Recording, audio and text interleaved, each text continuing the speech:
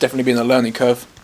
It's given um, the opportunity for players uh, who maybe are less less experienced, like myself, to play with more experienced players, um, which is obviously good for our development and uh, hopefully it will continue.